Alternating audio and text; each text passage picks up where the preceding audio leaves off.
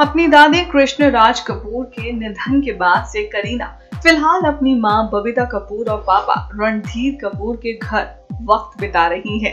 यानी कि करीना इस मुश्किल समय में अपने पेरेंट्स का पूरी तरह से ख्याल रखती हुई नज़र आ रही हैं।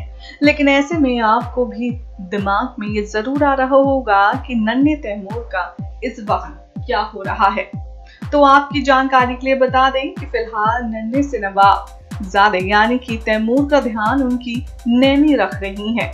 जहाँ तैमूर को उनकी नैनी घर में बने शोक के माहौल से दूर रखने की कोशिश कर रही हैं तो तैमूर को बिज़ी रखने के लिए उनकी नैनी उन्हें लगातार प्ले स्कूल भी ले जा रही हैं।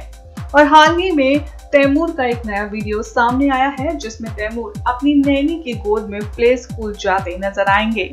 लेकिन इस वीडियो में जो गौर करने वाली बात है, वो ये कि अक्सर फोटोग्राफर्स के सामने हाय और बाय बोलकर क्यूट पोजेस देने वाले तैमूर इस वीडियो में काफ़ी ज़्यादा शांत नज़र आ रहे हैं।